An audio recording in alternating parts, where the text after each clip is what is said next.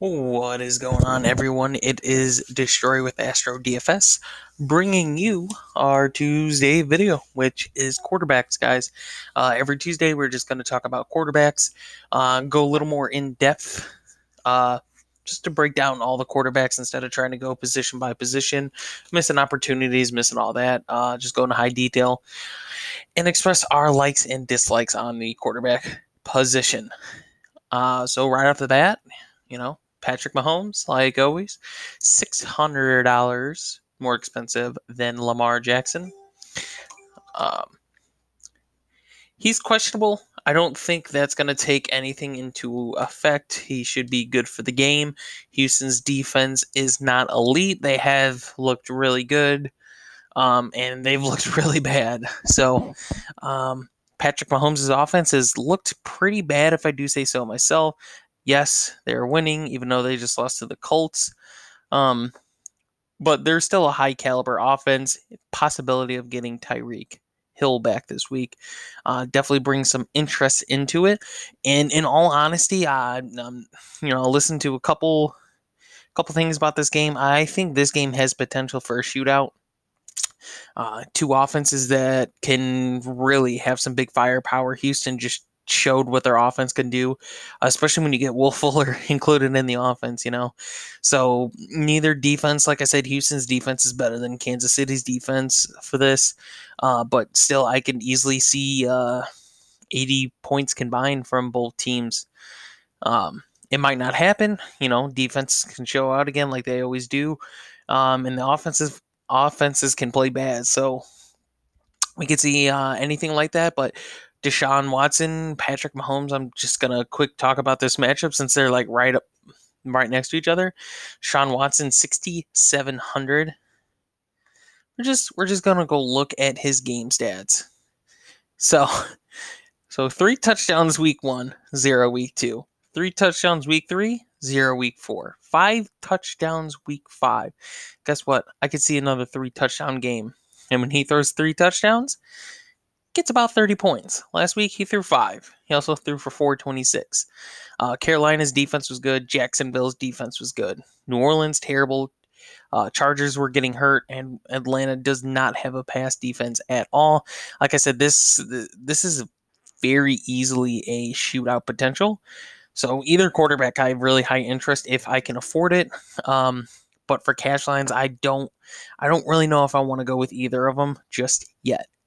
Uh, so let's talk about the guy in the middle, Lamar Jackson, getting a very favorable matchup this week. He is playing the Cincinnati Bengals. Terrible run defense. Guess what? Baltimore can run the ball. Terrible pass defense. Baltimore can pass the ball. Uh, let's let's go take a look at Lamar Jackson's numbers. So passing wise, has gone down. Rushing, it's been there. Um, he hasn't hit had a 30 point game since week two against Arizona.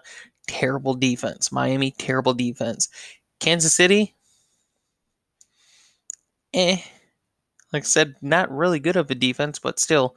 Uh, Cleveland, Cleveland probably has the best defense out of all four of those teams.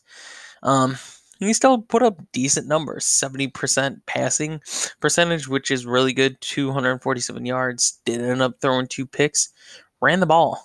Um, he has fumbled his last two games, but this, this is a matchup I, I love. Uh, he can run the ball easily this game, pass the ball easily this game.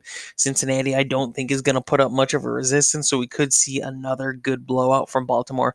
Hopefully, because they have needed it. Um, Team hasn't looked that good lately. They beat a hurt Pittsburgh team. Lamar Jackson had his worst game of the season. I like I said, I can easily see a bounce back here.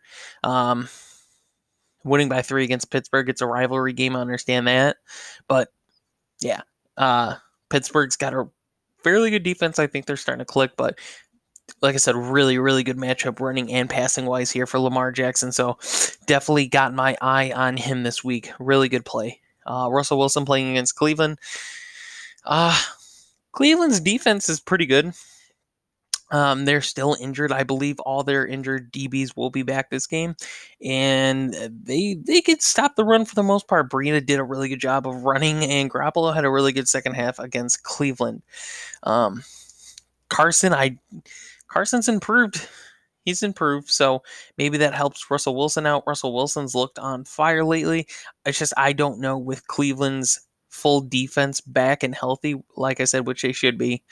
Um, I don't know if I really necessarily love Russell Wilson here at 6600. Like I'd rather pay 100 more for Deshaun Watson or 300 more for Jackson who have such high potential if you're going to pay that much for a quarterback. Uh just really good uh prices for them. Like I said, Russell Wilson, GPP, definitely uh, not taking him in cash unless I see that Cleveland's defensive backs are still out, but that's still a question mark for me.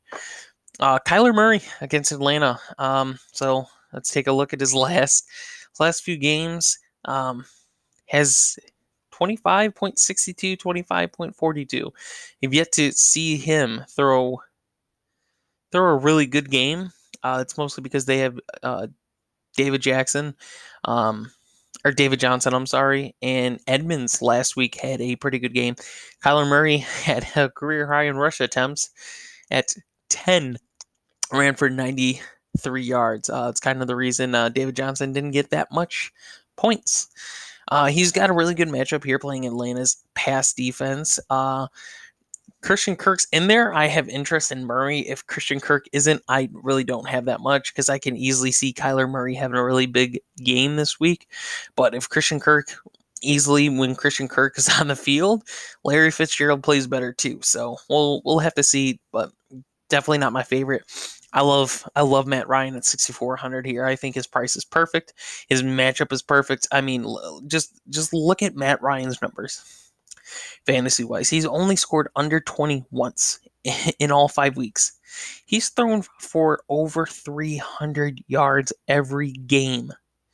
There's only one game he didn't throw a touchdown, and that's the game he got under 20. He's playing a very bad Arizona pass defense. Um, Patrick Peterson doesn't come back until next week, I believe. Um, oh, uh, yeah. Uh, um, but yeah, Patrick Peterson doesn't come back till next week. I think I have to double check that. Um, so definitely, if if Pat Pete's back there, that changes a lot. But like I said, I don't I don't believe he is. I have to double check. Um, but yeah, Eh, somebody that's throwing over 300 yards every game and getting three touchdowns basically every game against a terrible pass defense has so much interest for me, like a lot. Uh, and they need they need a win bad. So hopefully we can see some uh, Matt Ryan love here on Sunday. And uh, like I said, I think it's a perfect matchup for him. Definitely loving Matt Ryan. Right below him, Dak Prescott. A lot of people uh, not high on Dak Prescott. We're going to look at his price 6200 Dak Prescott, one game under 10 against New Orleans, where no one played good in that game offensively. Defensively, yes. Uh, they lost against Green Bay yesterday. He threw three interceptions, still almost hit 30 points, 463 yards, two touchdowns, uh, four rushes, 27 yards. What I want to point out is these first two games against the Giants, terrible defense. Washington, terrible defense. Playing against the Jets, pretty good defense. Still hurt. Um, still without Mosley, I believe. But the the thing that adds value to Dak Prescott, in my opinion, this week is Michael Gallup. Um, so we could take a look at Michael Gallup really, really quick. Um, find Dallas's game here. Okay, so we're going to look at Michael Gallup. He's been in three games, and I do believe he got hurt in the Washington game. Week one against the Giants, 7 for 7, 158 yards. Week five against a good Green Bay defense. Really good. 14 targets, 7 receptions, 113 yards, and a touchdown. That offense plays better when Michael Gallup is there. Uh, everyone thought with Tyron Smith out, Dak Prescott was going to just play terrible. I'm pretty sure that's a career high, if not a top three performance by Dak Prescott yards wide against a fairly good defense this year uh, with Green Bay. They're starting to fall off a little bit. Uh, Amari Cooper totally destroyed Green Bay's defense a lot more than everyone thought they were. But when they play with Matt, Michael Gallup, and if Sam Darnold's back, he he just got cleared. If they're officially going to let him play and he's playing, we might see a really good game here. We might see a competitive game where Dak Prescott has to score. They have to play smart. They have to play good and they could do it against the Jets. The Jets have a pretty good rush defense, and they probably will have a lot of passes to Zeke, uh, a lot more than usual, um, in my opinion. But it's a perfect matchup for Dak Prescott. He plays good when Michael Gallup's out there. Michael Gallup's going to be out there. And the Jets defense without CJ Mosley has just not been that elite. So if Mosley's still out, Dak Prescott, love him uh, right below Jared Goff. There's not much to say about Jared Goff. Has a really good team around him. Uh, he just can't excel fantasy point wise. Threw for 517 yards in one game and still only had 27 points. They're playing against San Francisco's defense. They are so good. Um, the Rams are definitely going to score. They're definitely not going to let San Francisco do what they've done. But I I like San Francisco's pressure to the run game, making the Rams throw the ball. But Jared Goff just does not get fantasy points to make you fall in love with him, especially in this matchup against an undefeated San Francisco team. So definitely not liking Jared Goff. Carson Wentz at 6,000. Pretty good price, I guess, for him. He's only cracked 20 plus points twice. One was barely over 20, uh, 22 were close to 20. Uh, the only game he went off was Washington. Um, so you can tell what he did against the Jets last week. He only got 12.06 points, but that's because the Eagles defense played the best defense they've played in a long time. So um, I, don't really like him against Minnesota, to be fairly honest. Minnesota has a good defense. Um, when the offense plays good, that defense plays good too. So not liking his matchup. It, it's it's not Carson Wentz as much it is Minnesota's defense. Then six thousand, not a huge fan of him. Garoppolo, um, same thing. I, I just want to say with Goff, even though Goff has tons of more weapons around him, um, 49ers now have Coleman back, so they have Coleman, Breida, Mostert, um, and Wilson. Even though Wilson had to sit because you can't really have four running backs like that. You can, but it's very hard. Um, he's just not a fantasy points guy. He can win a game, he could pass, but just not a big fantasy points. Baker Mayfield, 5,500, played terrible against the 49ers defense. Um, I don't think he got a single fantasy point one.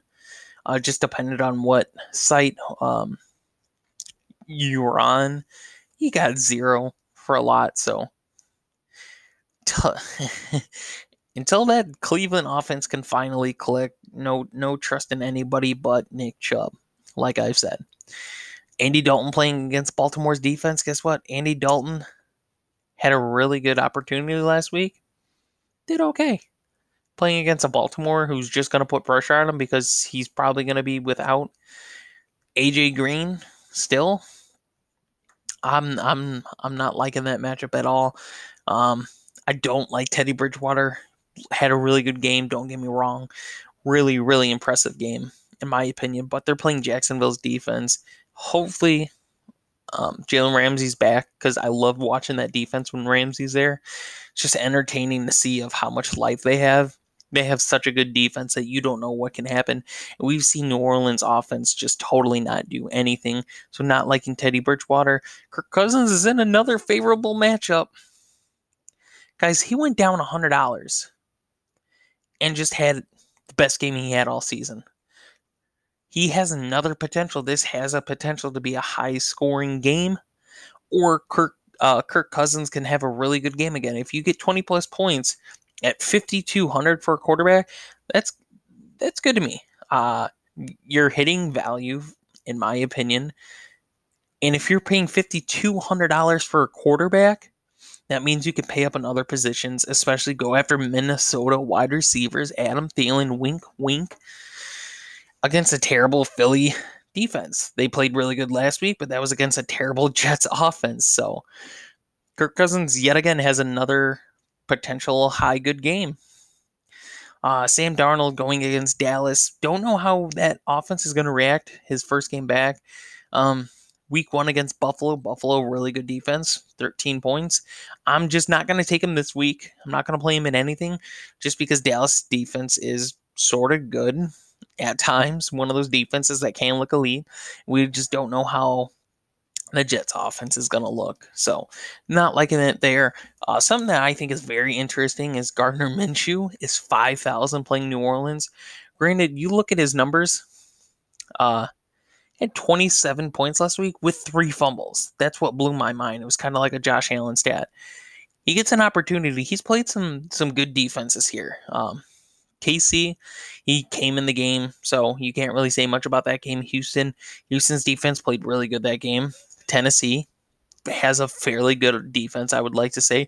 Denver, really good defense. Um, has been going down, but that's just because of injuries. Uh, and then Carolina's defense been playing good. Guess what? Gardner Minshew's been playing good. He's only cracked 20 once, but he's playing New Orleans. And if that defense, like I said, could play good, he could see the ball a lot. We we could see some honestly good play from the Jacksonville offense, and Gardner Minshew can have a great game at five thousand. That's not too bad in my opinion. Um, Dwayne Haskins is probably going to be the quarterback here.